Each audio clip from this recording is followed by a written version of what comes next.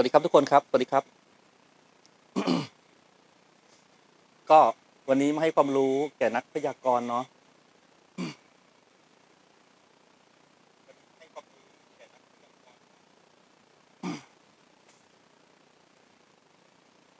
ก่อนอื่นก็ต้องขอ เออแสดงความเสียใจนะครับ กับญาติของวีรบุรุษนะครับ วีรบุรุษ ในดวงใจของชาวสมุทรปราการ แล้วก็วีรบุรุษ ในดวงใจของคนไทยทั้งชาติคนหนึ่ง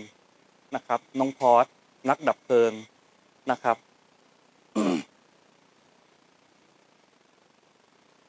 ก็ขอแสดงความเสียใจกับญาติของน้องพอสด้วย แล้วก็ขออนุญาตนะครับ เอาดวงของน้องพอสเนี่ย มาทำการ เอ่อ ศึกษาให้กับให้นักพยากรณ์ คนที่สนใจในวิชาเลขเจ็ดตัวเนี่ยทำการศึกษาเพื่อเป็นดวงครูเนาะเป็นวิทยาทาน เป็นความรู้นะครับ ไม่ได้มีเจตนาที่จะก้าวล่วงหรือหมิ่นประมาทใดๆนะครับ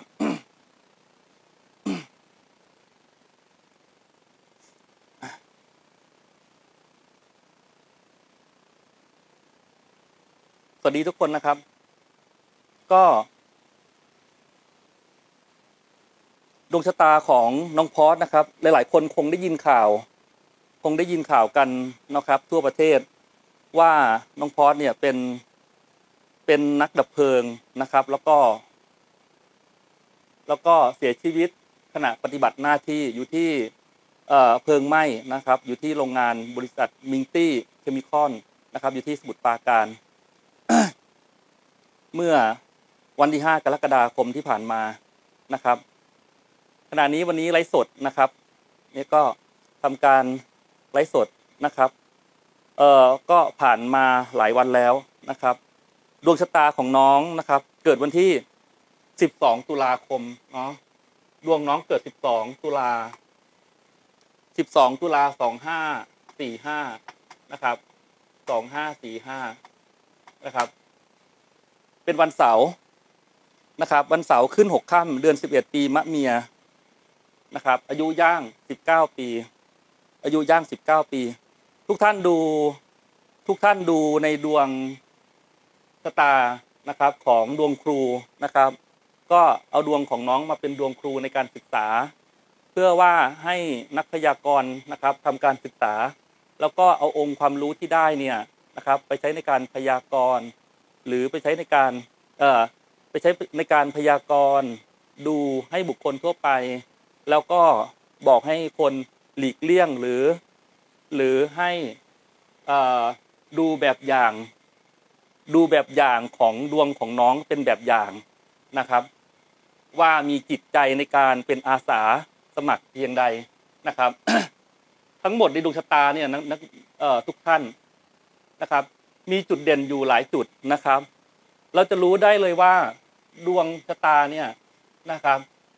เห็นไหม ทุกคนเราจะรู้ได้ในตำแหน่งของกรรมะเนี่ยหน้าที่การงานเนี่ยเป็นเด่นมาก คือจันฐานสิบจันฐานเสา จันฐานเสา จันคือน้ำนะ จันคือน้ำอยู่บนกำลังแห่งพระเสา เสาเป็นธาตุไฟเห็นไหมน้ำกับไฟอยู่ด้วยกัน ที่ตำแหน่งของกรรมะ น้ำกับไฟอยู่ด้วยกันที่ตำแหน่งของการงานนะครับน้ำกับไฟอยู่ด้วยกันที่ตำแหน่งของฉะนั้นแล้ว งานนี้จึงเกี่ยวข้องเกี่ยวกับน้ำและไฟทุกท่านดูนะ เกี่ยวข้องกับน้ำและไฟอยู่ที่ตำแหน่งนี้ นั่นแปลว่าอะไรน้ำน้ำน้ำเป็นตัวน้ำอยู่บนธาตุไฟ น้ำอยู่บนธาตุไฟ และกรรมะตัวนี้มันเป็นอริกรรมะนักเรียนทุกคน อริกรรมะคืออะไร อริกรรมะก็คืองานที่มีการแข่งขัน มีการต่อสู้ มีการเอาชนะ เอาชนะซึ่งอุปสรรคปัญหาเห็นไหมเป็นเป็นลักษณะงานที่มีการต่อสู้เพื่อเอาชนะอุปสรรคปัญหาไอตัวจัน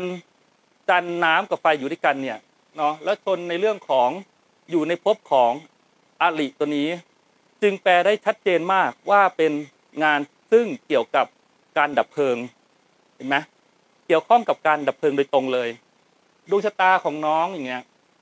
ดวงชะตาของน้อง จึงหมายถึงเป็นดวงที่ส่งมาในเรื่องของเป็นนักดับเพลิงโดยตรงเลย เป็นนักดับเพลิงโดยตรงเลย นั่นคืออะไรเหมือนกับว่าน้องเกิดมาเพื่อที่จะเป็นนักดับเพลิงโดยตรง เห็นไหมแล้วดูความยิ่งใหญ่ของการงานตัวนี้ ดูความยิ่งใหญ่ของอ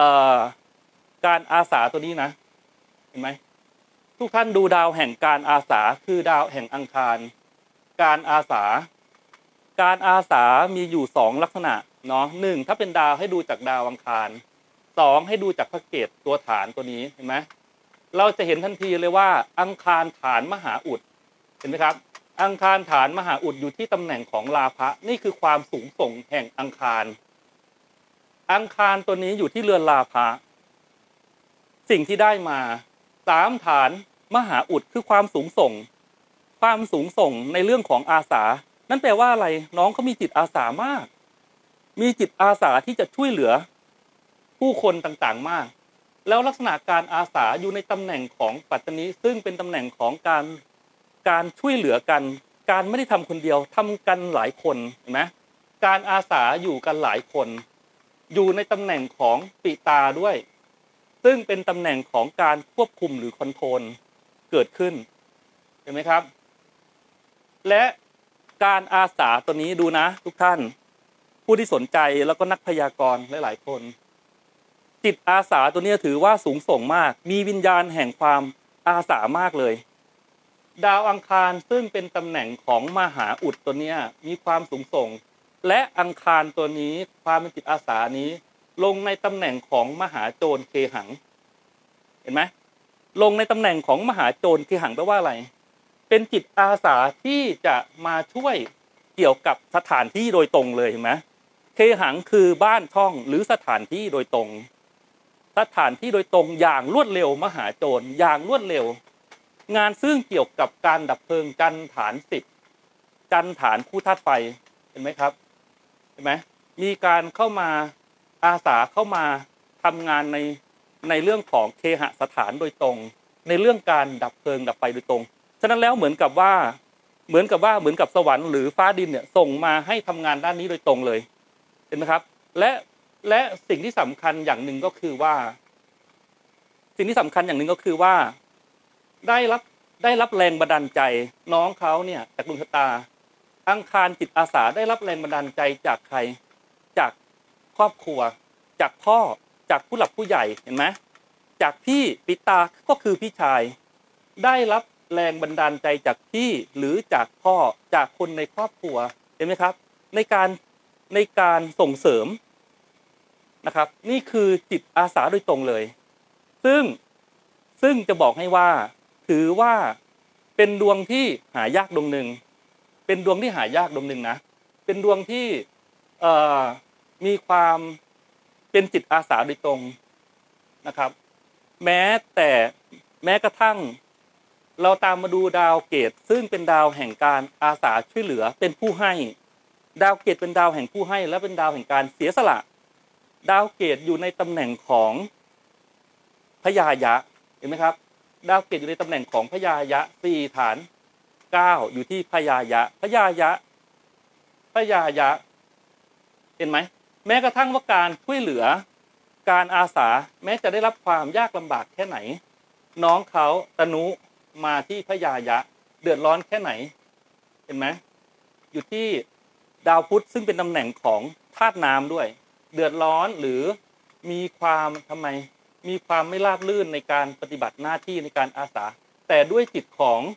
การอาสาเป็นหลัก เพราะดาวอังคารอยู่ในตำแหน่งมหาอุดซึ่งมีความสูงส่งมากเห็นไหมนี่คืองานการดับเพลิงโดยตรงเลยทุกท่าน นี่คืองานดับเพลิงโดยตรงเห็นไหมนะดูนะ แล้วดูในตำแหน่งของชนสากำเนิดที่ผมจัวหัวโพสก็คือ เป็นดวงแห่งมหาจักรพรรดิเป็นวีรบุรุษดับเพลิง แห่งมหาจักรพรรดิ ในระบบดวงดาว ในระบบเลขเจ็ดตัวทำไมผมถึงกล้าพูดขนาดนั้น เพราะว่าในตำแหน่งชนสากำเนิดตำแหน่งแรกนักเรียน ประชาชนทุกคนผู้สนใจ เป็นตำแหน่งของมหาจักรพรรดิเห็นไหมครับ เป็นตำแหน่งของมหาจักรพรรดิตัวเขาเองตัวน้องเองอัตตะมายืนอยู่ในตำแหน่งของมหาจักรพรรดิเจ็ด ฐานสิบแปดแปลว่าเจดีสูงสูง แปลว่าตึกสูงสูง ตึกสูงมาก เห็นไหมเป็นตำแหน่งแห่งความยิ่งใหญ่ แล้วทั้งหมดเนี่ย ความเป็นมหาจักรพรรดิอยู่ในตำแหน่งของมรณะด้วย เห็นไหมทั้งหมดอยู่ในตำแหน่งของมรณะ การเป็นมหาจักรพรรดิยืนอยู่บนตำแหน่งของมรณะ อยู่ตรงชนสากำเนิดอยู่ณหลักแรกจุดแรกเลย ทรงอิทธิพลเห็นไหมขนาดเอ่อของน้องเนี่ย แม้กระทั่งเสียชีวิต เอ้ยเอ่อเสียชีวิตเนี่ย ยังของน้อง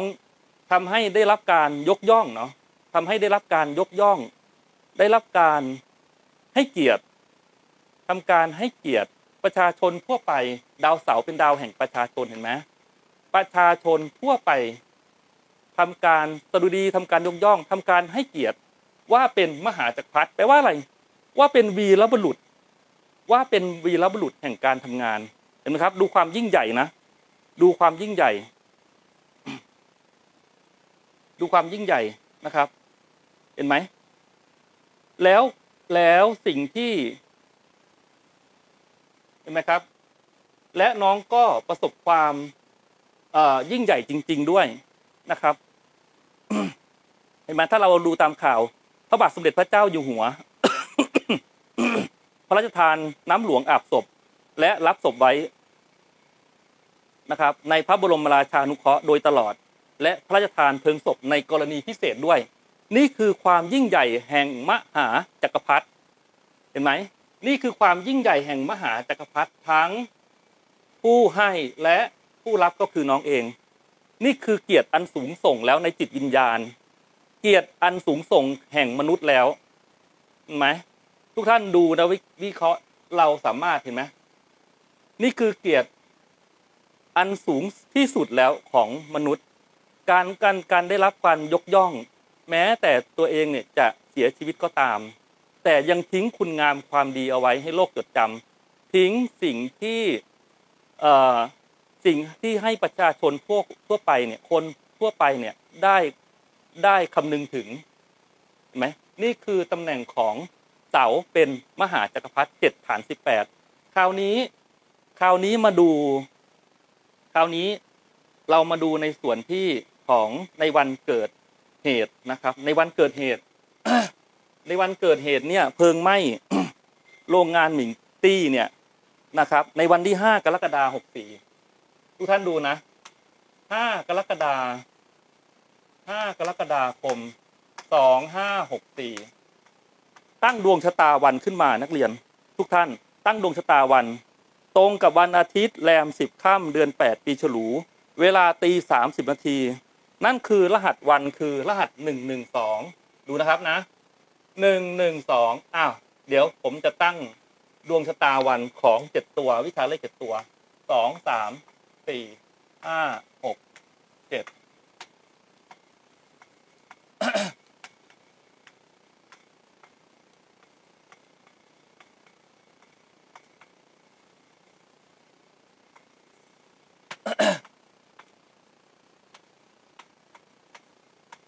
บสามสิบหก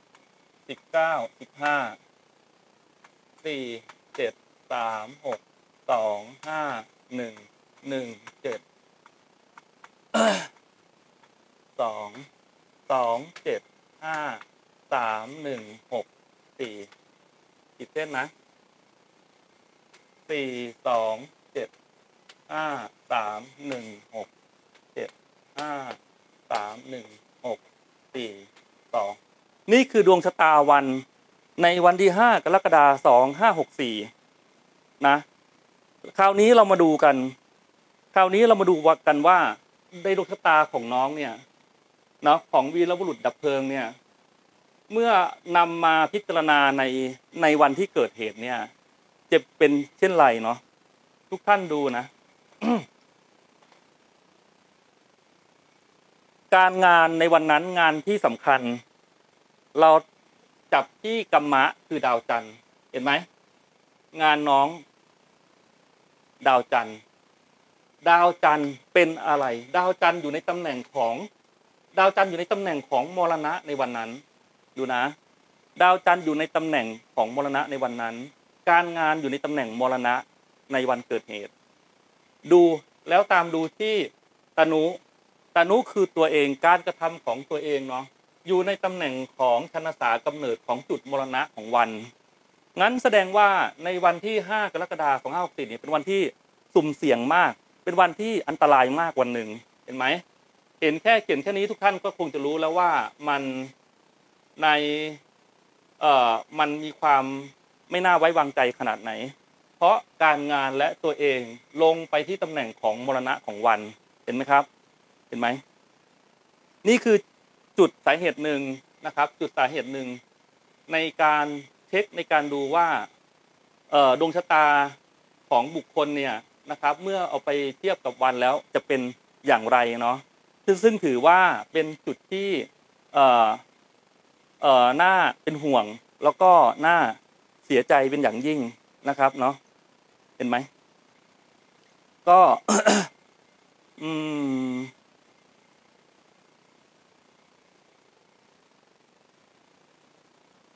เห็นไหมครับ ฉะนั้นแล้วนะครับสิ่งต่างๆที่เกิดขึ้นนะครับ เราไม่สามารถที่จะย้อนคืนกลับมาได้ ทิ้งไว้แต่คุณงามความดีเอาไว้นะครับ ให้โลกได้จดจำนะครับ ทิ้งไว้ให้กับประชาชนทั้งหลาย เป็นวีรบุรุษของชาวสมุทรปราการ และเป็นวีรบุรุษของเมืองไทยนะครับ ของนักดับเพลิงทั้งหลาย ดูเป็นตัวอย่างของบุรุษที่มีความเป็นจิตที่มีความอาสา มีความใฝ่ฝัน มีความเป็นจิตอาสา โดยโดยโดยหัวใจจริง ๆเลยนะครับ เพราะดาวแห่งอาสาเป็นมหาอุดมีความสูงส่งมากในการเป็นอาสาเห็นไหมแม้กระทั่งว่าตัวเองจะเดือดร้อนก็ตาม อยู่ที่ตำแหน่งพระยายะเห็นไหมแม้ว่าตัวเองจะได้รับความเดือดร้อนก็ตามเห็นไหมครับ สิ่งต่างๆส่งผลให้ สิ่งต่างๆนะครับนะส่งผลให้ในดวงชะตา นะครับ ที่จุดของอมรณะเนี่ยเป็นเสาฐานมหาจักรพรรดิมีความยิ่งใหญ่ที่สุด และเห็นไหมครับ ตัวเขาเกิดมาพร้อมกับความยิ่งใหญ่ ตัวเขาเกิดมาพร้อมกับความยิ่งใหญ่เลยฉะนั้นแล้วนะครับ จึงทิ้งไว้ทิ้งคุณงามความดีเอาไว้ให้โลกจดจำนะครับ ถือว่าเป็นวีรบุรุษคนหนึ่งนะครับที่อยู่ใน ดวงใจของคนทั่วไปนะครับ นี่คือความยิ่งใหญ่ความเป็นมหาจักรพรรดินะครับนะ โอเคนะครับ เดี๋ยววันนี้ผมก็ให้ความรู้เพียงเท่านี้นะครับ ก็ ขอยกคุณงามความดีนะครับ ที่เอาดวงของน้องมาเป็นดวงครูเนี่ยนะครับ ให้เป็นวิทยาทานนะครับ ก็ให้ดวงวิญญาณของน้องพอสเนี่ยไปสู่สุคติไปสู่สวรรค์ชั้นฟ้านะครับ ทิ้งไว้คุณงามความดีให้โลกได้จดจำนะครับ แล้วก็ แล้วก็ขอแสดงความเสียใจกับกับญาติของน้องพอสด้วยนะครับ ก็ถือว่าเป็นดวงครูที่มีความยิ่งใหญ่นะครับ เพราะเป็นดวงแห่งมหาจักรพรรดิเห็นไหมมหาจักรพรรดิทำอะไรก็ยิ่งใหญ่นะครับทำอะไรก็ยิ่งใหญ่ อายุของน้องย่าง 19 ปี อายุของน้องย่าง19เห็นไหมครับ ดูนะสี่สี่ฐานเก้าอยู่ตรงนี้ย่าง19เห็นไหมครับ ตัวเองยืนอยู่บน9ดาวพระเกตคือจิตวิญญาณ จิตวิญญาณ เห็นไหมนี่เป็นจุดหนึ่งที่บ่งบอกว่าเป็นช่วงอายุที่สุ่มเสี่ยงอันตรายมาก แต่ด้วยความเป็น9ดาวเกตน้องก็มีความเชื่อไงมีความเชื่อมีความมุ่งมั่น มีความเชื่อมีความเสียสละเห็นไหมครับ ก็ขอให้คุณงามความดีต่างๆ ที่น้องสร้างนะส่งผลให้น้องไปสู่สวรรค์ชั้นฟ้า แล้วก็ขอแสดงความเสียใจอีกครั้งกับญาติของน้องพอดด้วยนะครับ ก็ให้ความรู้แค่นี้ขอบคุณทุกท่านมาก ๆนะครับ ที่ติดตามนะครับ สวัสดีครับ